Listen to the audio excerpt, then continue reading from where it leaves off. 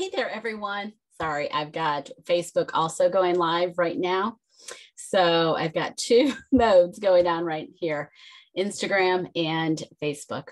And uh, I am coming on today. I'm so excited to be able to tell all of you the story that this day, the win actually that we've had today uh, so far, and so excited that it is actually happening. Facebook, I'll win actually that just read that. So, anyway, what happened today is a lot of you, I realized this morning when I woke up to get ready for this hearing, I realized that many of you don't know my story. You don't know who I am and uh, what I do with my law practice or as an attorney. But for a very long time, I have worked with children who are part of the dependency system I have myself in the past been a foster parent. I have seen the system from almost every aspect. And today I had the honor of moving forward and adoption and finalizing adoption and adoption for my clients who have been fighting to keep this child in their care so that they could adopt him for the past three years. And now it's official. He is in his forever home. I cannot be more thrilled for them. It was a long fought battle because, unfortunately, many times in the dependency system, that's what happens.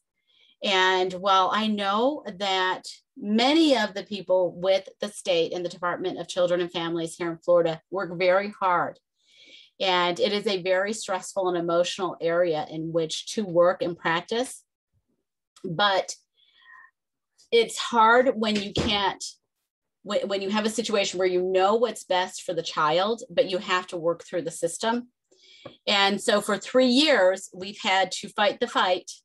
And this child was placed with my clients when he was just five days old. This is the only home he's known the only family he's known.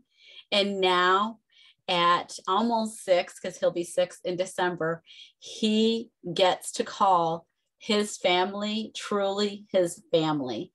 And we had to go through a trial, we had to go through the entire process. And we finally got to the point where we're at now. And I could not be more excited or thrilled for this little young man who's going to grow up in a very loving home with his six or seven other siblings.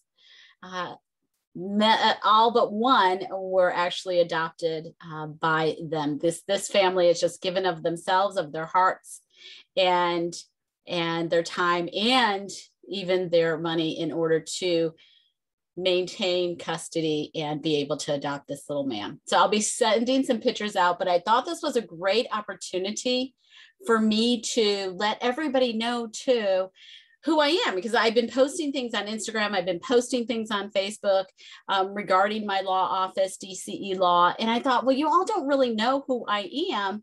And I am an attorney in the state of Florida. I've been practicing here in the state of Florida for over 28 years. Uh, my practice areas are business, transactional uh, law, because I've been also teaching for the past 14 years at a wonderful college here and then child advocacy and family law. So I focus more on the child advocacy aspect of family law and also victims' rights. And so that's where my primary practice areas fall. I am a trial attorney.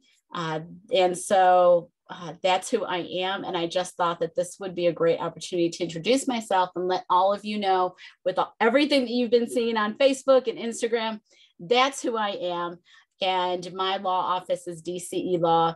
Great win for a child today. I'm so excited to be sharing this with all of you. I hope everybody's Friday starts out as great as this one has for us. Thank you.